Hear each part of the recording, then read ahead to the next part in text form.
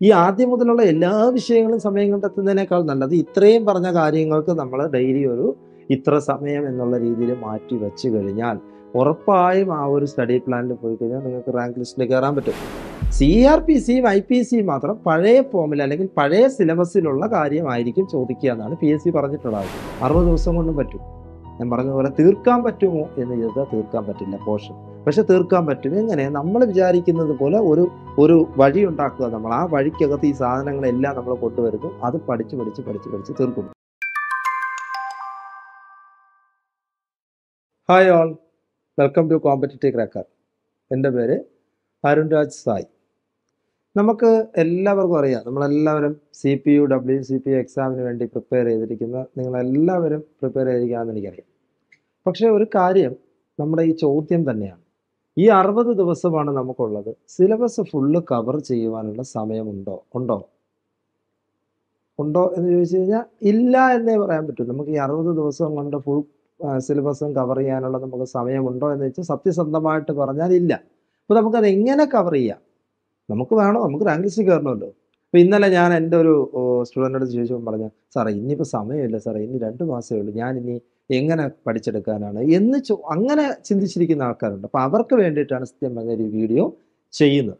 പലരും അങ്ങനെ ചോദിക്കാറുണ്ട്. അയ്യോ സാറേ ഇനി സമയമില്ല. ആറ് മാസം ഇനിയിപ്പോൾ രണ്ട് മാസമല്ലേ നമുക്കുള്ളൂ. ഈ രണ്ട് മാസം കൊണ്ട് എന്ത് തകർക്കാം ഞാൻ ഇനി എന്ന് എങ്ങനെ സാറേ ഇത്രയും പോർഷനൊക്കെ തീർക്കും? ഞാനത് സൂപ്പർമാനാണോ എന്നൊക്കെ ചോദിക്കുന്നുണ്ട്. സൂപ്പർമാനും സ്പൈഡർമാനൊന്നും ആവണ്ട. പക്ഷെ നമുക്ക് ഒരു സ്റ്റഡി പ്ലാൻ വെച്ചുകൊണ്ട് കറക്റ്റായിട്ട് പോകാൻ പറ്റും. അത് അതിനെക്കുറിച്ച് പറയാനാണ് ഞാൻ ഈ വീഡിയോ തന്നെ നിങ്ങൾക്ക് വേണ്ടി ചെയ്യുന്നത്. നോക്കൂ. അപ്പോൾ ആദ്യം പറയാനുള്ളത് നമ്മുടെ ക്ലാസ്സിനെ കുറിച്ചിട്ടാണ്. കോമ്പറ്റേറ്റീവ് ഗ്രാഹകനെ സംബന്ധിച്ച് നമ്മളൊരു ക്ലാസ് ക്രാഷ് കോഴ്സ് ആരംഭിച്ചിട്ടുണ്ട് C P O W C പിക്ക് വേണ്ടിയിട്ട്. എത്രയും പെട്ടെന്ന് ജോയിൻ ചെയ്യുക.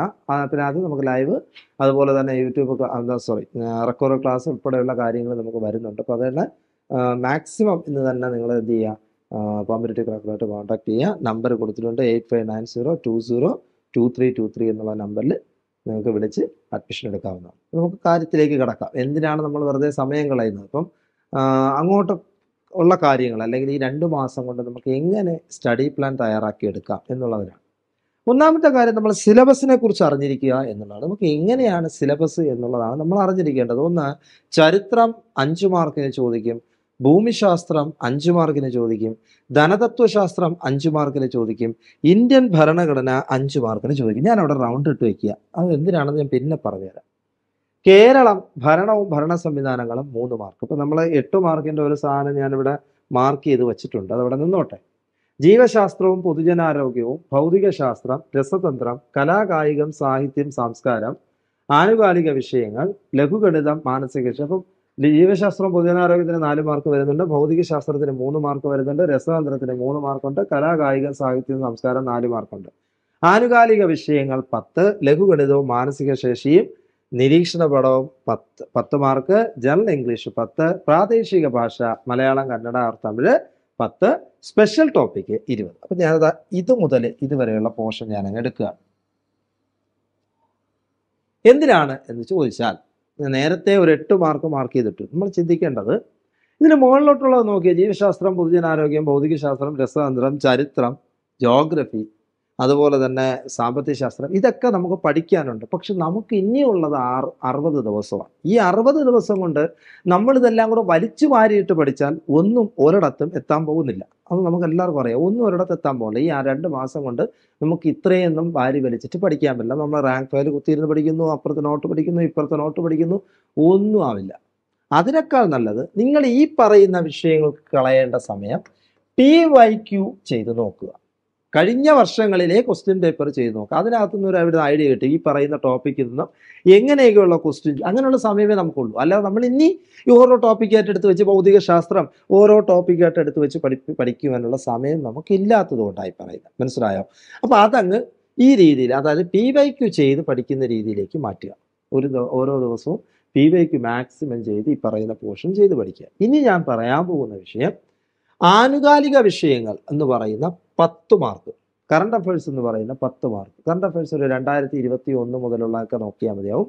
അത് മുതലുള്ളത് മാക്സിമം നിങ്ങൾ എന്ത് ചെയ്യുക? ഒരു ദിവസം ഈ പറയുന്ന സാധനം എന്ന് പറയുന്നത് സി എസ് എന്ന് പറഞ്ഞു കഴിഞ്ഞാൽ കമ്പൾസറി ആയിട്ട് സ്റ്റഡി ചെയ്യേണ്ട കാര്യമാണ്. കാരണം ഇതിനകത്ത് നിന്ന് നമുക്ക് ഫുൾ മാർക്ക് സ്കോർ ചെയ്യാൻ പറ്റുന്ന സാധനമാണ് ഈ പറയുന്ന ടോപ്പിക്ക് അതായത് പത്ത് മാർക്ക് എന്ന് പറയുന്നത് ആനുകാലിക വിഷയങ്ങൾ പിന്നെ ഉള്ളത് മാത്സ് വളരെ ഇമ്പോർട്ടന്റ് ആണ്. മാത്സ് ഒരു ദിവസം നിങ്ങൾ മാറ്റി വച്ചേ പറ്റത്തുള്ളൂ. ഈ പറയുന്ന ഇത്രയും ടോപ്പിക്ക് നിങ്ങൾ ഡെയിലി മാറ്റണം. കറണ്ട് അഫയേഴ്സ് പഠിക്കാനാണെങ്കിലും ലഘുഗണിതം പഠിക്കാനാണെങ്കിലും ഇംഗ്ലീഷ് പഠിക്കാനാണെങ്കിലും മലയാളം പഠിക്കാൻ ഡെയിലി നിങ്ങൾ മാറ്റിയിരിക്കണം. ലഘുഗണത്തിന്റെ കാര്യം പറയുമ്പോൾ മാത്സിന്റെ കാര്യം പറയുമ്പോഴത്തേക്കും മാത്സ് ഡെയിലി നിങ്ങൾ ടോപ്പിക്ക് മാറ്റി ഒന്നോ രണ്ടോ അല്ലെങ്കിൽ രണ്ടോ മൂന്നോ ഇനിയിപ്പോൾ നമുക്ക് അങ്ങനെ ഒരു എന്താ പറയുക റേഷൻ വെച്ച് പോകാനുള്ള സമയമൊന്നുമില്ല.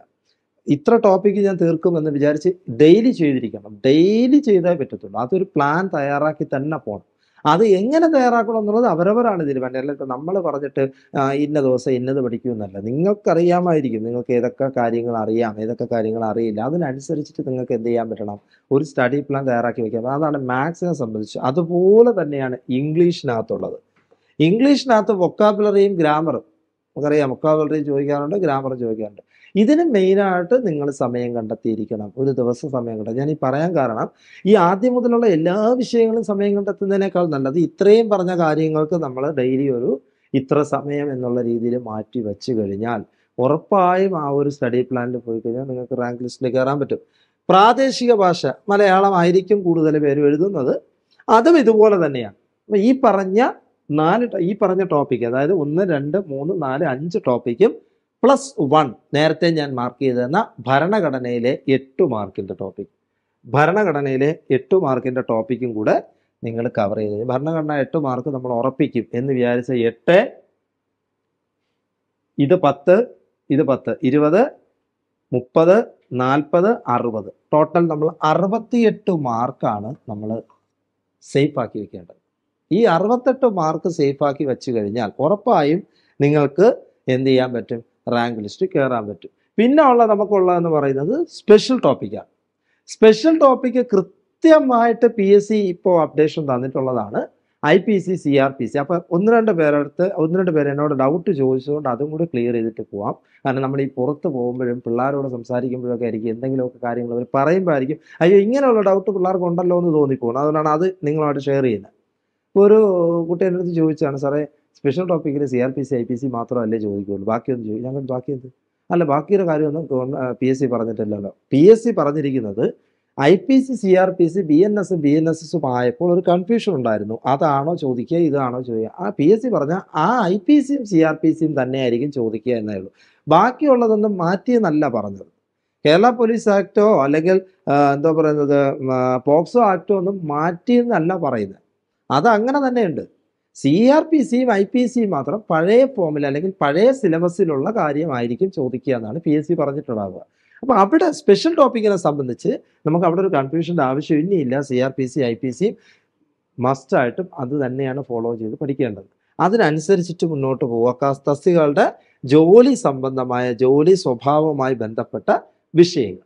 ഇതാണ് നമ്മളൊരു സ്റ്റഡി പ്ലാനിൽ തയ്യാറാകും കൃത്യമായി പറഞ്ഞാൽ അറുപത്തിയെട്ട് മാർക്ക് ഈ അറുപത്തെട്ട് മാർക്ക് ഞാൻ മാർക്ക് വാങ്ങും എന്ന് വിചാരിച്ചിട്ട് ഡെയിലി ഇതിനനുസരിച്ച് വർക്ക് ചെയ്യുക. അപ്പോൾ ഇംഗ്ലീഷിനാണെന്നുണ്ടെങ്കിൽ ഞാൻ പറഞ്ഞതുപോലെ ഡെയിലി പ്ലാൻ ചെയ്ത് പോവുക. അല്ലാതെ നമുക്ക് ഇനി മുകളിലോട്ടുള്ള സബ്ജക്റ്റുകൾ എല്ലാം നമുക്ക് അങ്ങനെ സമയം കണ്ടെത്താനുള്ള ടൈം ഇല്ലാത്തതുകൊണ്ടാണ്. നമുക്കിപ്പോൾ ഒരു ഒരു വർഷമൊക്കെ ഉണ്ട് അല്ലെങ്കിൽ പോട്ടെ ഒരു ആറ് മാസം ഉണ്ടെങ്കിൽ പോലും നമുക്ക് എന്ത് ചെയ്യാൻ പറ്റും? ഒരു ടൈം സെറ്റ് ചെയ്ത് പഠിച്ചു പോകാൻ പറ്റും. പക്ഷെ നമുക്കിപ്പോൾ അത്രയും സമയമില്ല. നമുക്കുള്ളത് വെറും രണ്ട് മാസമാണ്. ഈ രണ്ട് മാസം കൊണ്ട് ജീവശാസ്ത്രവും പൊതുജനാരോഗ്യവും റാങ്ക് ഫലം മുഴുവൻ എടുത്ത് വെച്ച് അരച്ച് കലക്കി പഠിച്ച് പഠിച്ചെടുത്ത് മാർക്ക് വാങ്ങാന്ന് വെച്ചാൽ നടക്കാത്ത കാര്യമാണ്. മനസ്സിലായി അപ്പോൾ നമ്മൾ എന്ത് ചെയ്യണം പി വി ക്യു നിങ്ങൾ ചെയ്ത് നോക്കുക. പ്രീവിയസ് ക്വസ്റ്റ്യൻ പേപ്പേഴ്സ് കിട്ടും. അത് മാക്സിമം ചെയ്ത് നോക്കുമ്പോഴത്തേക്കും ഏത് ടൈപ്പ് ചോദ്യങ്ങൾ വരുന്നുണ്ട്? കൃത്യമായി പറഞ്ഞാൽ ഏത് ടൈപ്പ് ചോദ്യങ്ങളാണ് കാലങ്ങളായിട്ട് ചോദിക്കുന്നതെന്നൊരു ഐഡിയ കിട്ടും. അതിനെ ഫോളോ ചെയ്ത് പഠിച്ചു പോകാം. പറ്റുമ്പോൾ നമുക്ക് സമയം കുറേ ലാഭിക്കാം. ആ സമയം നമുക്ക് എവിടെ കൊടുക്കാം? ഇത്രയും വിഷയങ്ങൾക്ക് നമുക്ക് കൊടുക്കാം. ഞാൻ പറഞ്ഞത് അറുപത്തെട്ട് മാർക്ക് എന്ന് പറയുന്ന ആ മാർക്കിനെ മുന്നിൽ നിർത്തിക്കൊണ്ട് തന്നെ നിങ്ങൾ മുന്നോട്ട് പോകണം.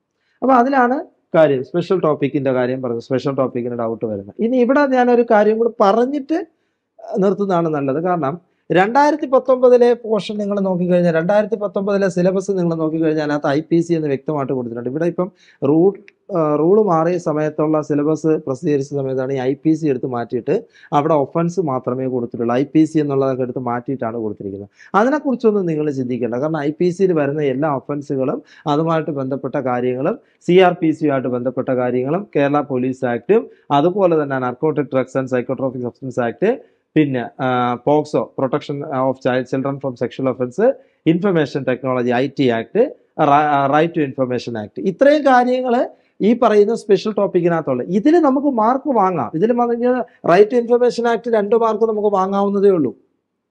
മനസ്സിലായോ? രണ്ട് മാർക്ക് നമുക്ക് വാങ്ങാവുന്നതേ ഉള്ളൂ. അടുത്തത് പറയുന്നത് information technology I T act രണ്ട് മാർക്ക് നമുക്ക് കിട്ടാവുന്നതേ ഉള്ളൂ. പ്രൊട്ടക്ഷൻ ഓഫ് ചിൽഡ്രൻ അതായത് പോക്സോ ആക്ട് രണ്ട് മാർക്ക്. പിന്നുള്ളത് narcotic drugs and psychotropic substance act രണ്ട് മാർക്ക് പിന്നെ വരുന്നത് കേരള പോലീസ് ആക്ട് മൂന്ന് മാർക്ക് അവസാനത്ത് നമ്മൾ I P C C R P C ആയിട്ട് ബന്ധപ്പെട്ട പോർഷനിലാണ് പിന്നുള്ള നാല് മാർക്ക് എന്നുള്ളത് മുമ്പ് അങ്ങനെയല്ല ഐ പി സി എന്നുള്ള രീതിയിലാണ്. ഇപ്പോൾ part one part two part three എന്നാണ് സ്പെഷ്യൽ ടോപ്പിക് എന്ന് ഇപ്പോൾ സ്പെഷ്യൽ ടോപ്പിക്കിനെ കുറിച്ച് ഒരുപാട് നിങ്ങളങ്ങ് ചിന്താകുലരൊന്നും ആവണ്ട. നമ്മുടെ I P C C R P C തന്നെ ആയിരിക്കും. ഇപ്പം ഇപ്പം ഈ വന്ന നോട്ടിഫിക്കേഷൻ അനുസരിച്ചുള്ള എക്സാമിന് ചോദിക്കാമെന്ന് വ്യക്തമായിട്ട് പി എസ് സി പറഞ്ഞിട്ടുള്ളതാണ്. അപ്പം ഇതാണ് നമ്മൾ ചെയ്യേണ്ട സ്റ്റഡി പ്ലാൻ അപ്പം ഇനി ഉള്ള ദിവസങ്ങൾ നമുക്ക് കുറച്ചു കൃത്യമായിട്ട് പഠിച്ചു പോകാം. കൃത്യമായിട്ട് പഠിച്ചു പോയി കഴിഞ്ഞാൽ നമുക്ക് റാങ്ക് ലിസ്റ്റിൽ കയറാൻ പറ്റും. കൃത്യമായിട്ട് തന്നെ പഠിച്ചു പോകണം.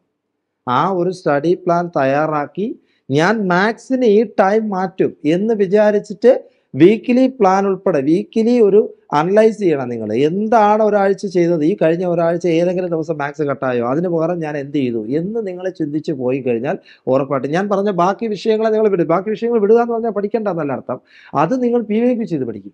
അല്ലാതെ റാങ്ക് ഫയൽ പഠിച്ചെടുക്കാനുള്ള സമയം നമുക്കില്ലാത്തത് കൊണ്ട് അത് വിട്ടേക്ക്. ബാക്കിയുള്ളത് നമ്മൾ പഠിച്ചെടുത്തിരിക്കും എന്ന് വിചാരിച്ചിട്ട് മുന്നോട്ട് പോവുക.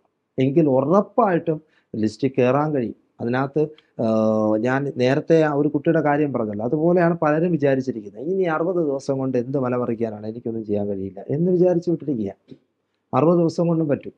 ഞാൻ പറഞ്ഞതുപോലെ തീർക്കാൻ പറ്റുമോ എന്ന് ചോദിച്ചാൽ തീർക്കാൻ പറ്റില്ല പോർഷൻ പക്ഷെ തീർക്കാൻ പറ്റും. എങ്ങനെ? നമ്മൾ വിചാരിക്കുന്നത് പോലെ ഒരു ഒരു വഴി ഉണ്ടാക്കുക നമ്മൾ. ആ വഴിക്കകത്ത് ഈ സാധനങ്ങളെല്ലാം നമ്മൾ കൊണ്ടുവരുന്നു. അത് പഠിച്ച് പഠിച്ച് പഠിച്ച് പഠിച്ച് തീർക്കുന്നു. ഡെയിലി ഞാൻ പറഞ്ഞതുപോലെ ഇംഗ്ലീഷ് മാത്സ് തുടങ്ങിയ കാര്യങ്ങൾ പഠിക്കുന്ന സമയത്ത് ആ ഒരു കാര്യം ഏതൊക്കെ ദിവസം മിസ്സായോ അതിന് പകരം മറ്റൊരു ദിവസം നമ്മൾ പഠിച്ചതെടുത്തിരിക്കണം എങ്കിൽ നമുക്ക് കൃത്യമായിട്ട് ഞാൻ ഈ പറഞ്ഞ അറുപത്തിയെട്ട് മാർക്ക് ഒരു കുഴപ്പമില്ലാതെ നമ്മുടെ കയ്യിലേക്ക് കിട്ടും. നമുക്കത് ഉറപ്പിച്ചെടുക്കാൻ പറ്റും. കാരണം ഇതിനകത്ത് കൺഫ്യൂഷൻ വരുന്ന കാര്യങ്ങൾ വളരെ കുറവാണ്. അതുകൊണ്ടാണ് ഇത്രയും ടോപ്പിക്കിന്റെ കാര്യം ഞാൻ പറയാം കാരണം കൺഫ്യൂഷൻ വരുന്ന കാര്യം കുറവെന്നല്ല പറഞ്ഞത്. പക്ഷെ നമുക്കത് ഉറപ്പിച്ചെടുക്കാൻ പറ്റും. നമ്മുടെ ഉള്ളിലേക്ക് ഉറപ്പിച്ച് ഉറപ്പിച്ച് ഇടിച്ച് ഉറപ്പിക്കാൻ പറ്റുന്ന സാധനങ്ങളാണ് ഈ പറയുന്ന വിഷയങ്ങളെല്ലാം.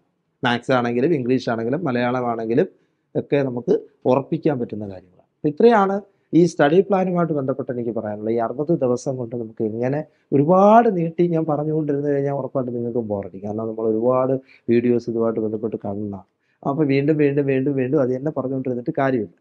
ഇനിയുള്ള ദിവസങ്ങൾ നമ്മൾ ആ ഒരു രീതിയിൽ പഠിച്ചു പോവാം. ഉറപ്പാണ്. ഉറപ്പായിട്ട് ലിസ്റ്റിൽ കയറാൻ പറ്റും ലക്ഷ്യം നമുക്ക് പോലീസ് ജോബ് ആണ് എന്നുണ്ടെങ്കിൽ മറ്റെല്ലാ ജോബിനേക്കാളും ഒരു ഒരു പവറുള്ള ഒരു ജോബായിട്ട് പലരും കാണുന്നത്. കാരണം ഇപ്പോൾ മറ്റുള്ള ജോബൊന്നും വിലയില്ല എന്നുള്ളതല്ല അർത്ഥം. പക്ഷെ പോലീസുകാരനായിട്ടൊരു യൂണിഫോം ഒക്കെ ഇട്ട് ചെന്ന് നിൽക്കുക എന്ന് പറയുമ്പോൾ അതിന് കിട്ടുന്ന ഒരു ബഹുമാനം വളരെ വലുതാണ്. അപ്പോൾ അതിന് വേണ്ടിയിട്ടാണ് പലരും ശ്രമിച്ചുകൊണ്ടിരിക്കുന്നത്. അപ്പോൾ അതിലേക്കുള്ള വഴിയാണ് ഞാൻ പറയുന്നത്. അത് മാക്സിമം നിങ്ങൾ മനസ്സിലാക്കി തന്നെ മുന്നോട്ട് പോവുക. നന്നായിട്ട് തന്നെ എന്താ പറയുന്നത് റാങ്ക് ലിസ്റ്റ് കയറാൻ പറ്റും. റാങ്ക് ലിസ്റ്റ് കയറുക അല്ലെങ്കിൽ ഷോർട്ട് ലിസ്റ്റ് കയറാൻ വേണ്ടി ആരും പഠിക്കുന്നത് ഏറ്റവും ടോപ്പിൽ എത്താൻ വേണ്ടിയിട്ടായിരിക്കണം പഠിക്കുന്നത് അപ്പോൾ അതിനാണ് നമ്മുടെ ലക്ഷ്യം. അതാണ് നമ്മുടെ ലക്ഷ്യം എന്ന് മുന്നിൽ കണ്ടുകൊണ്ട് മുന്നോട്ട് പോവുക. ഉറപ്പായും എല്ലാവർക്കും റാങ്ക് ലിസ്റ്റ് കയറാൻ പറ്റട്ടെ എന്ന് പ്രാർത്ഥിച്ചുകൊണ്ടും ആശംസിച്ചുകൊണ്ടും ക്ലാസ്സുകൾ അവസാനിപ്പിക്കുന്നു. നമ്മുടെ യൂട്യൂബ് ചാനലുണ്ട്. കോമ്പറ്റിറ്റീവ് ക്രാക്കർ എന്ന് പറയുന്ന യൂട്യൂബ് ചാനലുണ്ട്. എല്ലാവരും അത് സബ്സ്ക്രൈബ് ചെയ്യുക. അതുപോലെ ബെല്ലൈക്കൺ ഒന്ന് എനേബിൾ ചെയ്യുക. കൂടുതൽ വീഡിയോസ് അപ്ലോഡ് ചെയ്യുന്ന സമയത്ത് നിങ്ങൾക്ക് അത് നോട്ടിഫിക്കേഷനായിട്ട് കിട്ടും. മാത്രമല്ല നമ്മളെ സംബന്ധിച്ച് എല്ലാ കോമ്പറ്റേറ്റീവ് എക്സാമുമായിട്ട് ബന്ധപ്പെട്ട ക്ലാസ്സുകൾ നമ്മൾ കൊടുക്കുന്നുണ്ട്. അതുകൊണ്ട് തന്നെ നിങ്ങളുടെ കൂട്ടുകാർക്ക് എല്ലാം ഇത് ഷെയർ ചെയ്യുക. അതുപോലെ ഓരോ വീഡിയോസും ലൈക്ക് ചെയ്യുക. Okay thank you by